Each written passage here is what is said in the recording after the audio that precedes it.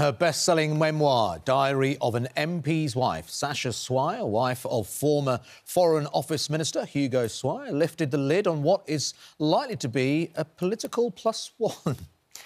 And her gossip about the inner goings on of politics seemingly spared nobody. She said Michael Gove was the most volatile member of the government. She also said that Dominic Cummings was a stark, raving, mad Rasputin. And Boris Johnson has no political identity or proven ability to grasp difficult questions and decisions.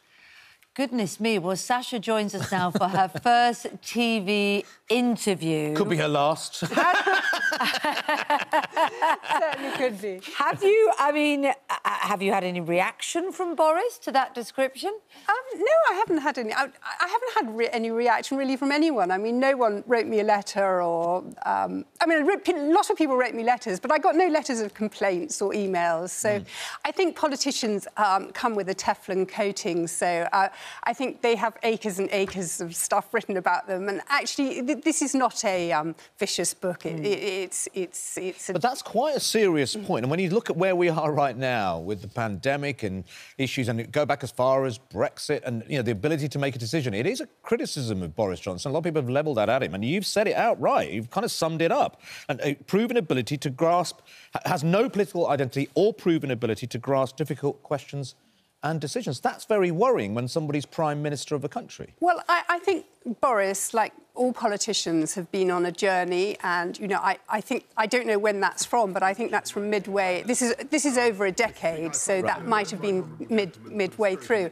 I, I, do think Boris is one of the most extraordinary politicians of our generation. Um, he is, uh, you know, I, I've been around. My father was a politician. He was John Nott. Mm. He was. Secretary, mm. Defence Secretary during the Falkland War. And, um, you know, I, have seen more politicians come and go in my life than practically anyone. And uh, he, he just is remarkable. Mm. He has this uh, amazing resilience. Mm. I mean, you, you've got to understand what he's been through. You know, he was mayor of London and then he was, mm. you know, he got Brexit done and then he fought a landslide election and then he got married, got divorced, had babies, nearly died. You know, he, he is not many people can bounce back at that level. So you have to give him points for his stamina. Well, I was quite interested what you, you, you, say in your book that he's sort of motivated. One of the reasons why he wanted the job is a sort of rivalry and a jealousy uh, over David Cameron, which just doesn't feel uh, like a healthy intention. Well, really, I mean, I mean that's politics. Minister. You know, politics is all about um, friendships and enemies, and um, it, it's competitive. It's it's a very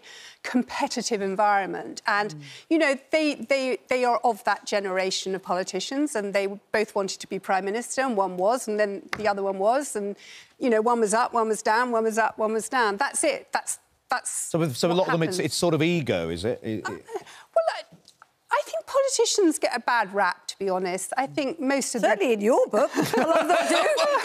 no, I, There's about I, 400 pages of bad rap here. No, but it's not really bad rap. It's just sort of. Mm. I, I think I humanise them. I mean, my book. You know, most political books are really dull. You know, I pick them up to go to sleep you know, if, I, if I've got insomnia.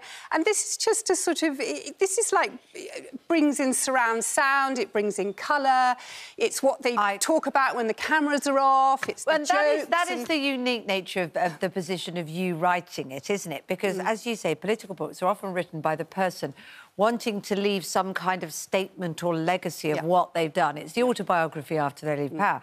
You're there right in the middle, daughter of a, a, senior politician, married to one, worked in politics yourself, worked as a journalist.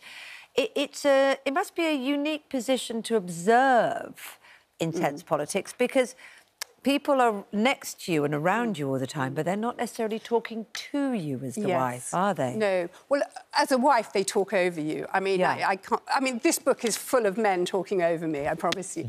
but um, no, I, so essentially, I, have always been a diary writer, and I think mm. everyone mm. should be a diary writer because. Um, it's a really good discipline. It, mm. it, I, have always observed people, and mm. and I've always, you know, and I've been a journalist, so mm. I've.